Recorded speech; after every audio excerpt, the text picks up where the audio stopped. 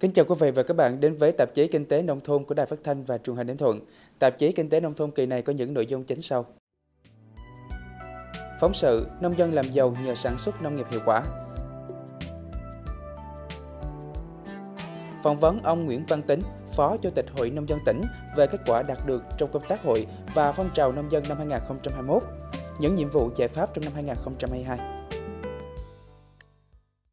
Bây giờ mời quý vị và các bạn theo dõi nội dung chương trình. Thưa quý vị và các bạn, cùng với cả nước, những năm qua, nông dân Ninh Thuận đã năng động, sáng tạo, mạnh dạn chuyển đổi cơ cấu cây trồng và áp dụng tiến bộ khoa học kỹ thuật vào quy trình canh tác, từ đó hình thành nhiều mô hình sản xuất hiệu quả và giúp nông dân từng bước vươn lên làm giàu trên cánh đồng của quê hương.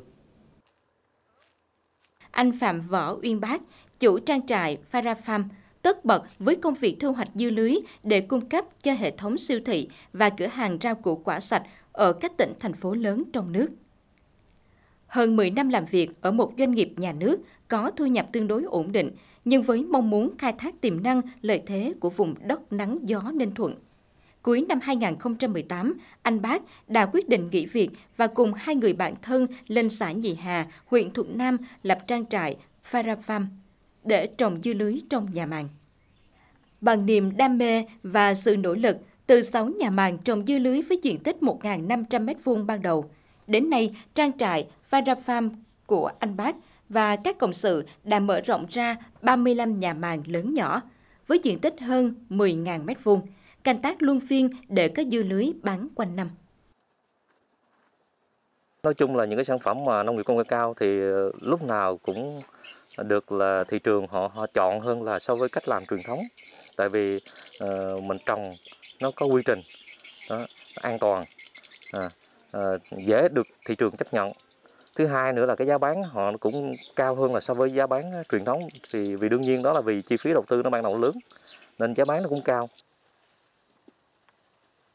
Với quy trình canh tác khép kín, chỉ sử dụng phân chuồng và vi sinh, đồng thời phòng trừ sâu bệnh bằng lá niêm và cây chuối, đậu nành, nên dưa lưới trang trại Farm của anh Phạm Võ Yên Bác và các cộng sự đảm bảo sạch, an toàn, đáp ứng nhu cầu ngày càng cao của người tiêu dùng trong và ngoài tỉnh. Hiện tại, trang trại Farafam trồng chủ yếu giống dưa lưới vàng dài, một xào cho năng suất khoảng 6 tấn. Với giá bình ổn 60.000 đồng một ký, sản phẩm dưa lưới của trang trại Farafam vẫn không đủ cung cấp cho thị trường.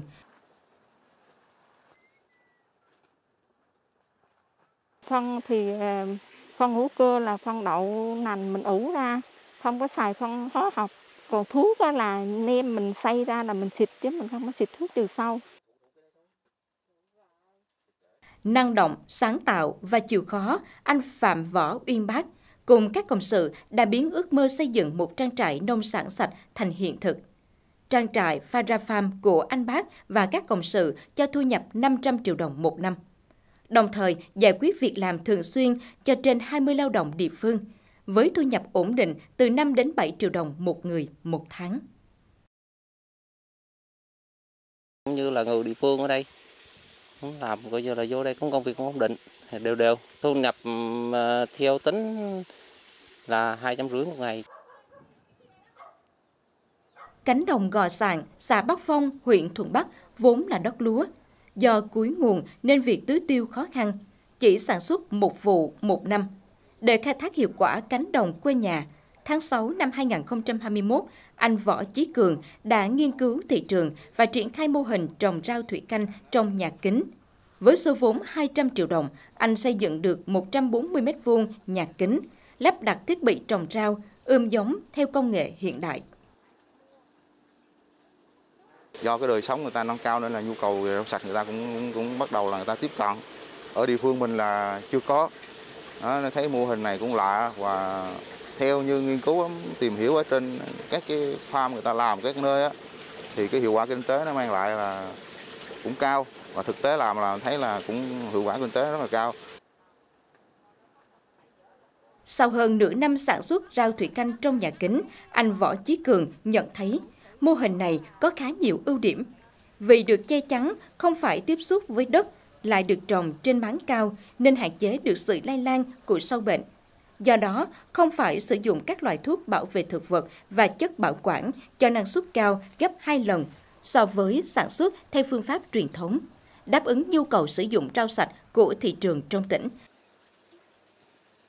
Mình trồng cái rau này thì ờ, mình phải biết cái kỹ thuật ờ, của rau, kỹ thuật chăm sóc rau. Thì ờ, đối với rau này thì nó rất là sạch và an toàn. Tại vì là nó ở ở trong nhà kính. Để nâng cao chất lượng, hạ giá thành sản phẩm, anh Võ Chí Cường không ngừng tìm tòi, học hỏi, ứng dụng kỹ thuật mới trong sản xuất và ươm giống rau thủy canh. Đồng thời tuân thủ nghiêm ngặt quy trình sản xuất rau an toàn. Hiện nay, anh đã chủ động được các khâu từ sản xuất giá thể, ươm hạt đến điều tiết nước tưới. Anh chia sẻ, yếu tố quan trọng trong trồng rau thủy canh là nguồn nước và công thức pha chế hỗn hợp dinh dưỡng. Toàn bộ quy trình sản xuất, thông số dinh dưỡng được các nhân viên kỹ thuật kiểm tra thường xuyên bằng các dụng cụ chuyên dùng để đảm bảo điều kiện sinh trưởng tốt nhất cho cây trồng. Theo anh Cường, thời gian trồng các loại rau cải từ 30 đến 35 ngày. Riêng rau xà lách 45 ngày và mỗi lứa anh thu hoạch từ 3 đến 5 tạ rau. Sau khi trừ chi phí, anh Cường lãi khoảng 10 triệu đồng một lứa rau. Nếu thị trường mà mình tiếp cận được những cái nguồn người ta tiêu thụ cao thì mình có thể là mở rộng Ờ, còn nếu đi xa hơn nữa thì có thể là nếu mà diện tích mình không có hoặc điều kiện mình không có thì có thể mình phối hợp với lại các cái hội đoàn thể để mình thành lập các hợp tác xã ví dụ để cung ứng các hệ rau sạch cho các hệ thống siêu thị. Mưa kéo dài luôn là nỗi ám ảnh với người trồng nho Ninh Thuận vì đây là điều kiện lý tưởng để các loại nấm và dịch bệnh tấn công vào vườn nho, gây thiệt hại cho nông dân. Để loại bỏ yếu tố bất lợi về thời tiết, anh Nguyễn Đình Trí ở thôn Đắc Nhân Ba, xã Nhân Sơn, huyện Đinh Sơn đã mạnh dạn đầu tư hơn 500 triệu đồng để làm nhà màng cho 2,7 xào nho.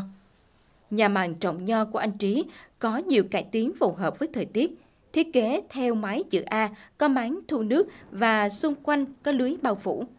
Khi trời nắng gắt, nhiệt độ trong nhà màng tăng cao thì hệ thống sẽ cuốn lưới bao xung quanh lên để luân chuyển khí. Giữa các luống nho, anh Trí còn trồng các loại cây họ đậu để hạn chế cỏ dại và làm xốp đất. Một sào thì là mình à, đầu tư khoảng à, tầm 200 đến 250. Rồi sau này thì mình sẽ à, thu lại thì nói chung thì chắc khoảng một năm đến hai năm có thể mình lấy vốn nếu mà mình làm đạt và tốt.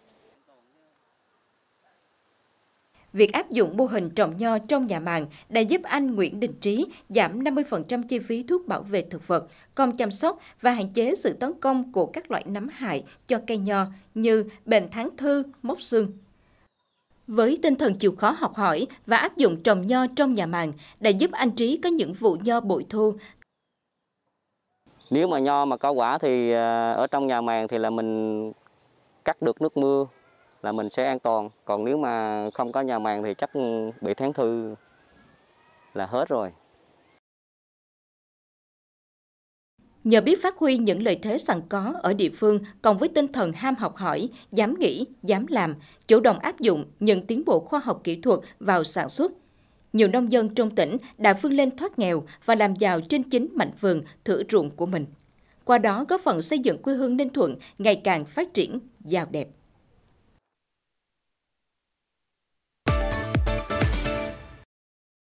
Thưa quý vị và các bạn, năm 2021, các cấp hội nông dân trên địa bàn tỉnh đã tích cực chủ động, phối hợp và triển khai nhiều chương trình tạo điều kiện cho hội viên và nông dân phát triển sản xuất kinh doanh, qua đó giúp nhiều hội viên có việc làm, thu nhập ổn định và gắn bó với các tổ chức cơ sở hội. Để tiếp tục đưa công tác hội và phong trào nông dân phát triển, đóng góp tích cực vào kinh tế xã hội của tỉnh trong năm 2022, biên tập viên tạp chí Kinh tế Nông thôn có cuộc trao đổi với ông Nguyễn Văn Tính, Phó Chủ tịch Hội Nông dân tỉnh. Mời quý vị và các bạn cùng theo dõi.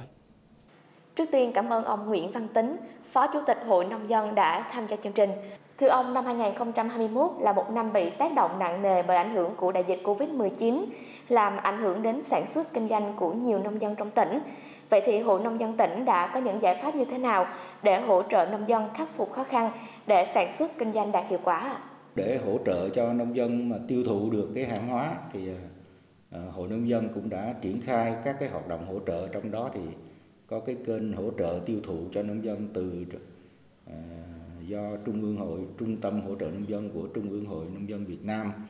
à, khởi xướng và thành lập cái kênh tiêu thụ để mà cho nông dân giới thiệu các cái sản phẩm cái hàng hóa cái nhu cầu cần tiêu thụ để rồi kết nối với lại các cái à, địa phương các nơi để là giúp cho nông dân tiêu thụ cái nông sản hàng hóa. Ngoài ra thì cũng đồng thời là triển khai à, các cái chương trình là kết nối à,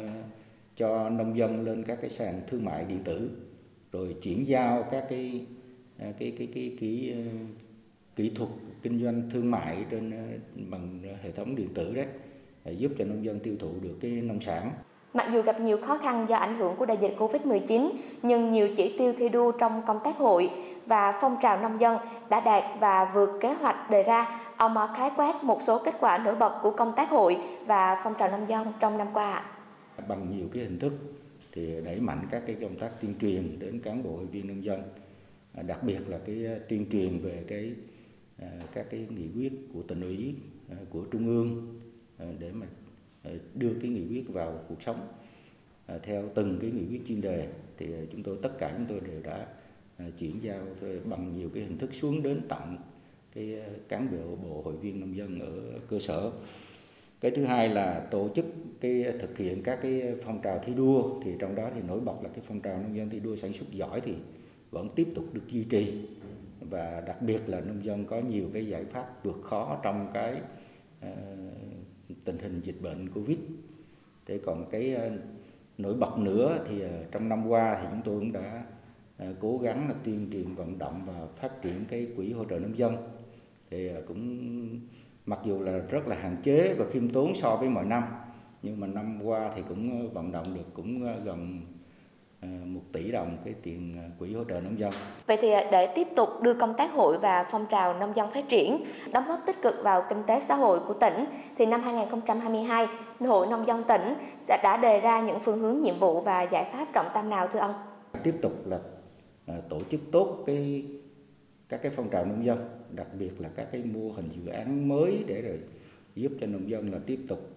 à, khôi phục sản xuất, à, thực hiện được cái mục tiêu kép của chính phủ à, tức là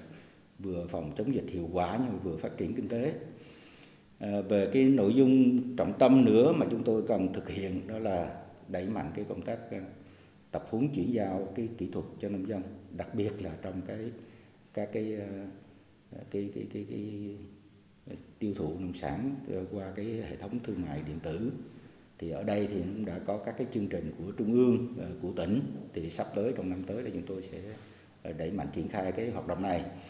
Trong đó thì cũng có đẩy mạnh một cái chương trình là phối hợp với ờ, hội nông dân của thành phố Hà Nội. Thì chúng tôi đã có một cái chương trình phối hợp. Thì sẽ thành lập một cái điểm để mà giới thiệu toàn bộ cái nông sản hàng hóa của nông dân Ninh Thuận ờ, tại thành phố Hà Nội để rồi đưa tới cái người tiêu dùng trong cả nước cái cái sản phẩm của nông dân Ninh Thuận và một cái nhiệm vụ ờ, rất là quan trọng nữa đó là chuẩn bị các cái điều kiện cho cái đại hội nhiệm kỳ của hội nông dân 23 ờ, 28. Cảm ơn ông về những thông tin vừa rồi. Quý vị và các bạn thân mến, tạp chí Kinh tế Nông thôn tạm dừng tại đây. Cảm ơn quý vị và các bạn đã quan tâm theo dõi. Xin chào và hẹn gặp lại.